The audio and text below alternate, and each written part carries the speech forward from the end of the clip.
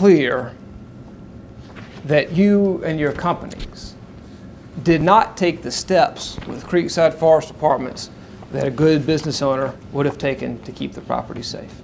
No, it's not clear. Well, you and your companies got into a good bit of trouble over this property, right? Yes, Yes? yes. Tell us about that.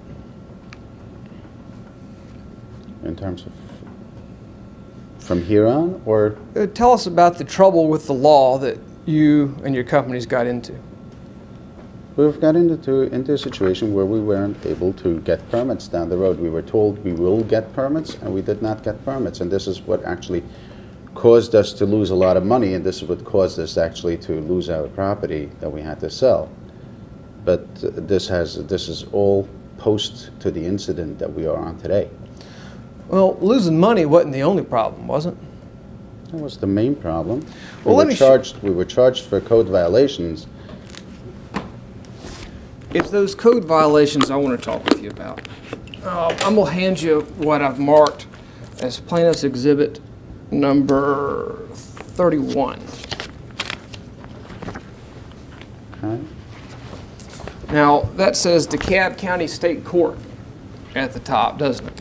Yeah, Under that, it says calendar and docket, right? yeah, It's got some columns there, um, and the third column from the left gives says offender and or attorney, correct? yes, And then the next column says the offense. yes, If you look at um, number eight on the first page, the, the cited entity, the offender, I suppose, is Creekside by Tag LLC, right? yes, Now look at the, the second page of Plaintiff's Exhibit 31.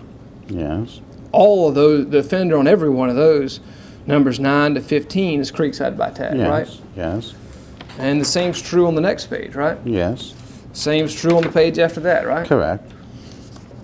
I don't want to go through every page. Pick up that document, if you will, like this in front of the camera, and just do that so the jury can see the, get a feel for the size of the document.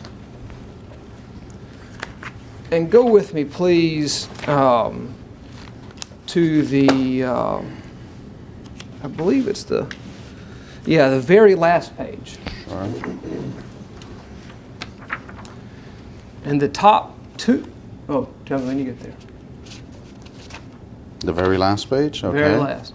The top two offenses on that page are to Creekside by tag, right? Correct, Those are numbers 349 and 350 on this document, correct? yes, So isn't it true that Creekside by tag or you received over 300 citations yes, for this property? yes,